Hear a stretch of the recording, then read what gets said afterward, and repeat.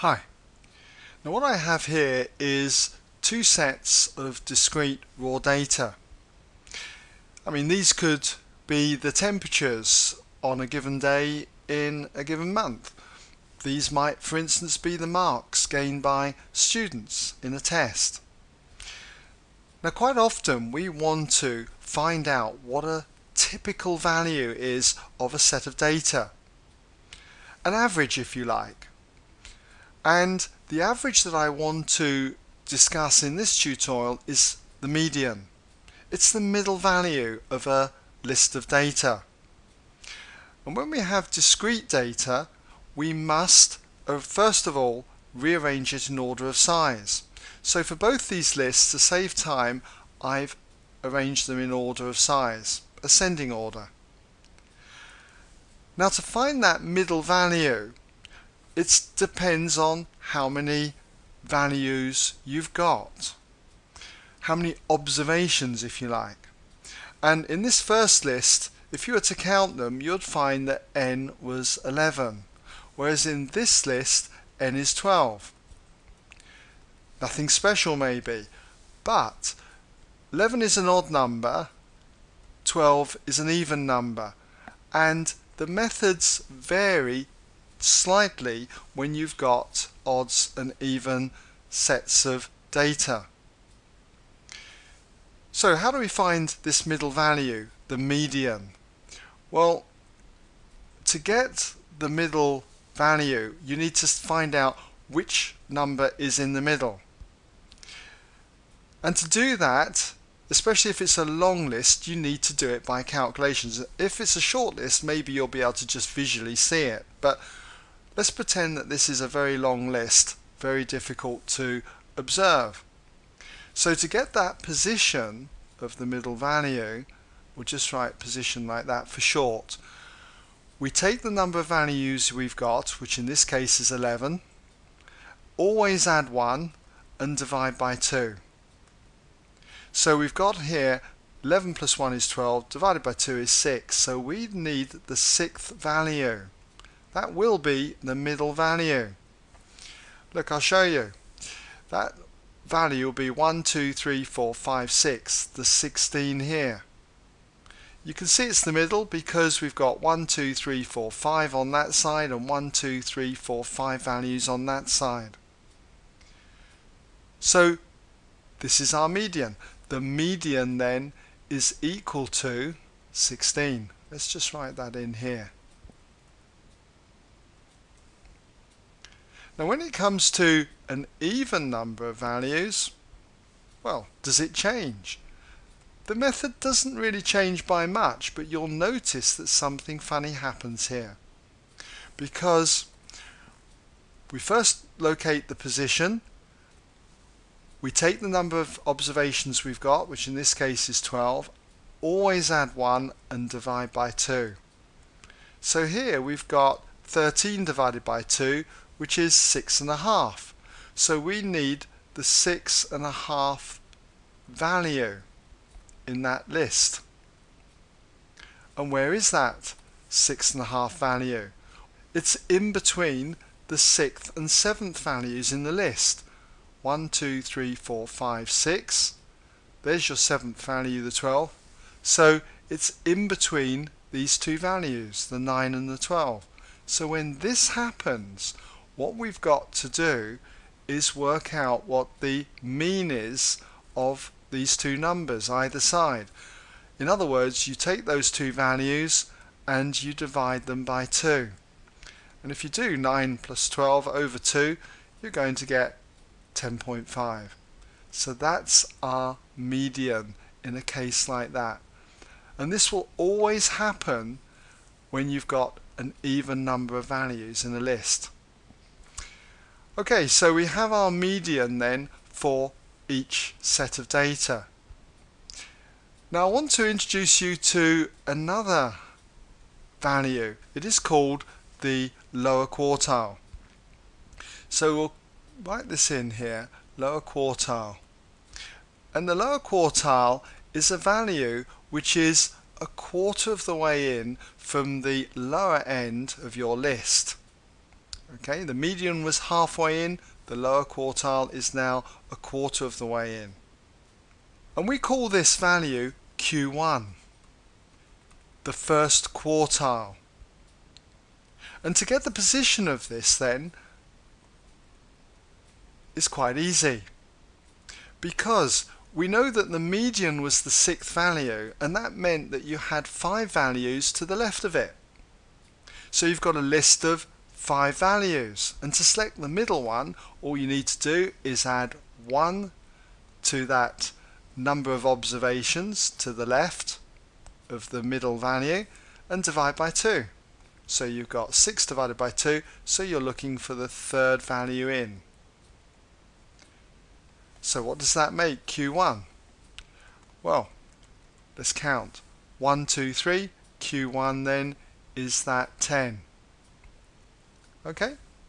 The lower quartile. Now it's worth mentioning at this stage that we call this the first quartile. The median is really the second quartile in. Imagine two quarters. Two quarters is a half, halfway in. So we call the median Q2 quite often. Alright? So Q2, the median, equals 16. Q2, the median over here, well that was the 10.5. But what about Q1 for this one? Would you be able to work it out? If you can, just pause the video and come back and see if you get the right answer. want to see how you got on.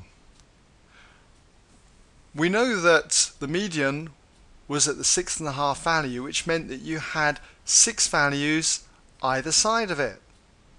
So we want to find the middle of that list of six values. So to get the position then, we just need to take the six values, add one, divide by two. Six and one is seven, divide by two, three and a half. It's the three and a half value. Okay? So let's go in and see what the three and a half value is. One, two, three and a half. It's in between the two fives. So this will be our Q1. And to get that Q1 then, all we need to do is take the mean of those two values. So Q1 is going to be 5 plus 5 divided by 2 It's simply going to be 10 over 2, 5, the same value. Okay?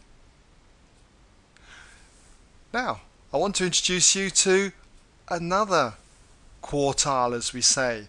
It's called the upper quartile.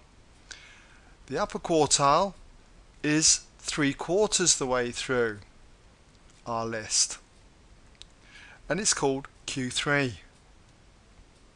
And again, we need to get the position of it. So we're in this list up here. So obviously if the median was the sixth value, we had five values left. Okay, one, two, three, four, five. So if we're going to get the position of that in that list, it's going to be the same as what we had for the lower quartile. It's going to be 5 add 1 divided by 2 it's going to be the third value again in from the median starting on the right hand side of it. There's our list of five values. We just want the third value in. So we're going to have 1, 2, 3. There it is, the 18. That's our Q3, as we say. So Q3 turns out to be the 18. So you might like to see what Q3 is going to be for this particular list.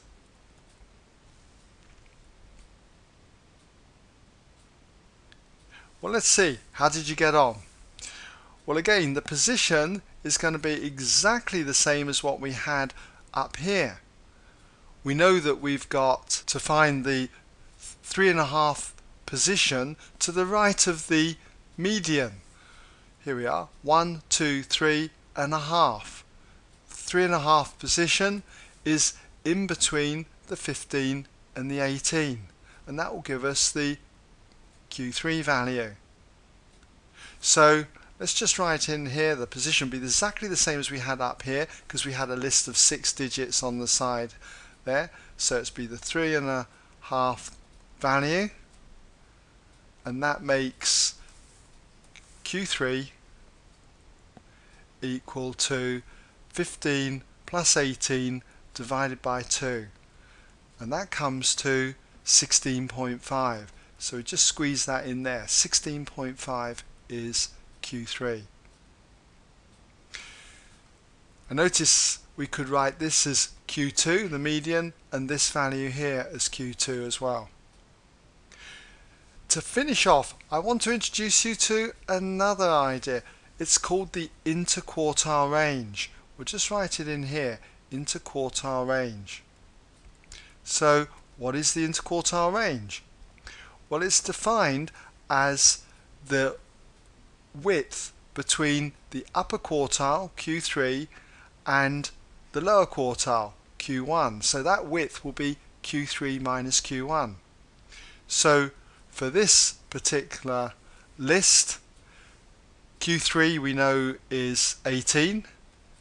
Take away Q1, which was the 10, and that's going to give us 8. So what would be the interquartile range here? I'll call it IQR. Well that's going to be very easy. Again Q3 minus Q1 simply 16.5 minus Q1 which was 5 and that's going to give us 11.5.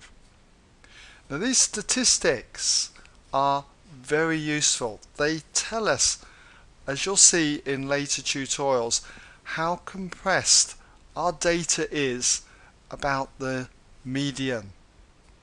They give us measures of spread. Okay, well I hope that's given you some idea of how we find the median then from lists where we've got odd number of observations and an even number of observations.